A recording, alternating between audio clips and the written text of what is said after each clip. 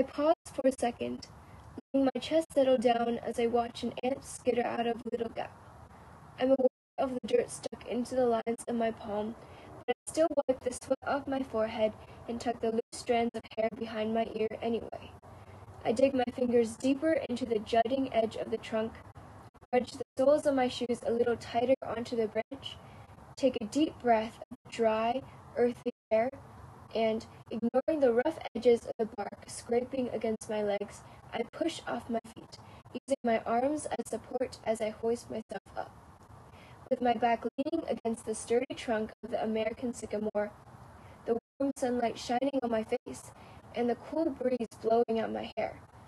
I see the tips of the redwood trees where the crows like to hang out, and the bright blue sky dotted with a few wispy clouds. I feel like I'm standing at the top of the world, admiring a view meant only for me. From hooking my legs around the slick blue bars at the playground and seeing the world upside down, to crawling my way up level nines with sweaty hands and toe bruising indoor climbing shoes, to hauling myself through the fragile limbs of redwoods while getting tiny splinters stuck in my palms. Climbing has always been a part of my life. Climbing doesn't stem from my culture, but my dad was always there to support me as my passion for it grew. First of all, he was the one who taught me how to do the monkey bars, something I did with my friends every recess in elementary school, so much that I developed many calluses where my fingers met my palm. When I started indoor climbing, my dad gave me instructions, like where to put my foot or how to shift my weight when I was stuck. Most importantly, though, he held me up and kept me climbing, both mentally and physically. The rest was my own will. As more and more scrapes and cuts appeared on my legs, which happened quite frequently, I earned the name Monkey and made climbing part of my identity I love climbing because it transports me to a whole other world. When I climb, all the difficult things that squeeze my heart and make my eyebrows wrinkle up just disappear, getting left behind as I raise one foot after the other, one arm and then the next, up towards the sky. For me, climbing is kind of like stepping from a stuffy room into some cold morning air and taking a nice deep breath. Not only does it help me mentally refresh, Climbing things also gives me the way to let out my energy and exercise my body, which is especially good since I'm the type of person who can't stay still for very long. Plus, climbing is not always easy. There are usually places where I get stuck or feel that I don't have the strength to keep going. Times when my fingertips turn white as I struggle to keep hold.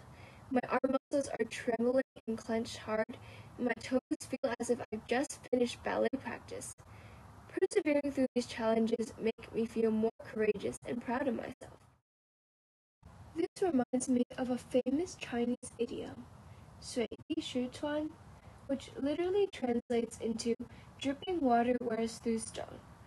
I think it means that as long as you don't give up and try your hardest, you will always be successful. When I put in all I have to defy gravity and heave myself to the top, the feeling of victory that emerges, complete with the rewarding scene that plays out in front of my eyes, may that be the raging waterfalls of Australia or the smiles on my friends' faces, makes all the hard work worth it. Through this chest pounding, arm flailing thing called climbing, I've learned that life is full of difficult times, but it is also important to have fun and forget about your worries sometimes, to take the time to pursue your passions and make memories. After all, I'm not always going to be so agile and able bodied. Moments like able to perch on a branch and see the bright full moon illuminating the night sky, or trace my fingers through the white dust coating the ceiling beam in the rock climbing gym, or hear my friends' encouraging cries might be something I will be longing for in the future. So I've got to make the most of it now and only focus on the next step up. Climb on.